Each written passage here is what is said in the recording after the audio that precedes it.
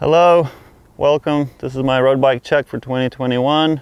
What am I doing? What's the road bike check? Is it a review? Kind of, but not. This is my bike. It's not going back to Scott. This is a very requested video because I do a lot of on-bike films if you're not familiar with who I am. My name is Safa and these are my stomping grounds, the Santa Monica Mountains of LA. This is where I do a lot of my riding, really steep canyon climbs and descents. Pretty much every ride I do, I'm hitting at least 50 miles an hour and going through corners at those speeds. So that's why people are interested in what I'm riding, is because the speeds are normally very high and clearly an impressive bike to be able to handle that well. Now I have ridden the previous generations of Scott Addict. It's my favorite bike, so this is definitely a biased opinion. It's still got that magic ride.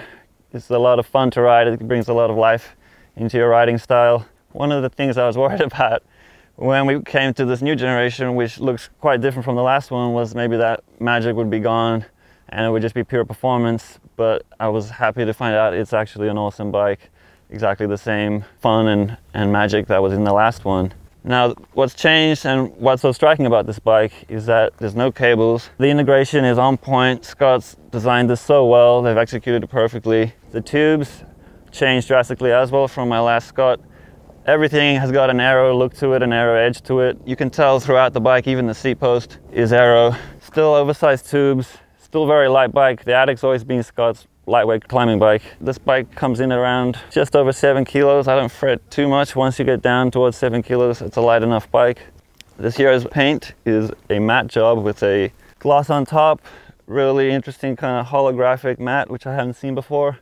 We'll start off here with the integrated cockpit. This is Scott's in-house brand, Syncros Creston IC. It's a one piece. Cables run through down the front of the eccentric head and then they separate down to wherever they need to go. Well, this is Di2, Shimano Di2 Dura Ace, but last year I had the mechanical Dura Ace and it works exactly the same. It looks just the same. So no matter what group set you have, you get to hide the cables. The bike looks awesome. And it also does help with uh, aero advantage. I have up front here the Karoo 2 from Hammerhead. The Syncros mount, mount seen underneath, looks super clean like it's just floating there. Now with the Di2, zero complaints. Everyone knows at this stage that it's the best Shimano's ever come out with, so I won't go into too much detail there. It is a 5236 mid-compact, and at the back is 11 to 30, so that's a really nice range for, for the stuff I do up and down a lot. Pedal Mafia bottles, and the cages are just Tacx. Um, dying of thirst. Pretty sure this is a 172.5 crank. It's a 172.5 crank. Now this doesn't come with a power meter, but I've installed, I've had a factory install of the 4iiii dual-sided power meter on here. Been working great. I'm just starting to play around with power. So I'll bring that to the screen for you guys, courtesy of 4iiii. So thank you guys for doing the quick turnaround on that. The pedals, they match the group set. These are DA pedals, Shimano Dura Ace. No issue there, I run the yellow cleats, nothing fancy, pretty straightforward. What works, works. So I've got the Syncros Capital One wheels that come with this. They're 21 millimeter internal, so for a road that's really wide and it's awesome for what I do.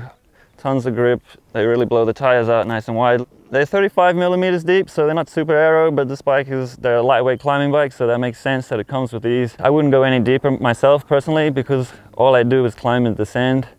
So I'm not trying to get blown around by the wind, and I'm trying to keep it lightweight for the climbs. The fork has changed a fair bit too now that they're designing it just to have it for disc brakes. There's no rim brake version in this bike.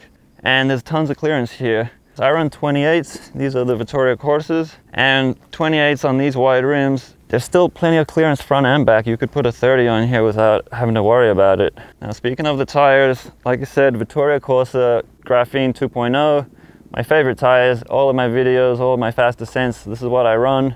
I run this day in, day out. I don't mind that they might wear down a little faster than other tires. I'm here for pure performance, speed and grip, that's it. Every day, 28s, pumped up to about 65, 60 PSI, depending on uh, how long the ride is gonna be with latex tubes in there. Now, one of the cool little James Bond features on this fork is the uh, way the disc brake attaches to it. It drills straight into the fork and then has this little magnetic uh, aero cover Never rattles, never does anything except look good. 160 millimeter rotors front and back. That comes standard on this bike. And if you, you know, this is a climbing bike, you're gonna do some descending. That's the sweet spot for me on a road bike. These are 12 millimeter through axles. They've sandwiched them in front and back is really smart and adds to a really stable and solid feel on this bike. The other parts that come from Syncros apart from the bars is the seat post and saddle. We've got a Duncan seat post which is designed for this bike. So I always like an aero seat post because it looks good and also you don't have to fidget around for five minutes trying to get your seat straight. I have the Belcarra cutout saddle in tan it doesn't come with that, but otherwise this bike is stock. I've changed the tires and the saddle and that is it. This bike comes out stock, charged and ready to go. Under the saddle, you've got the tan Syncros back Plan B Micron saddlebag. That fits uh, two CO2s and a tube and a little multi-tool. And yeah, this bike is the same one you'll see, you know, in Grand Tours and in, in the Pro Peloton under DSM this year.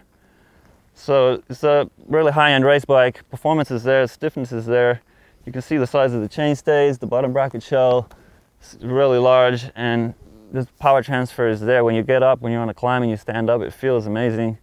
There's no give, but at the same time, this bike is really comfortable. Like that's the magic of the Addict. That's always why it's been my favorite bike. It makes you want to ride differently, it makes you want to have a lot of fun, it makes you want to jump around, but at the same time, if you want to go and hit up a race or you're just out there for pure performance, you have that too. And it's that magic blend that a lot of bikes, you know, you got to pick one or the other. And this one, you get the comfort, you can ride it on gravel if you want, you can ride it all day, you can race hard, and you can just go out and fool around and have fun because there's a lot of life in this bike.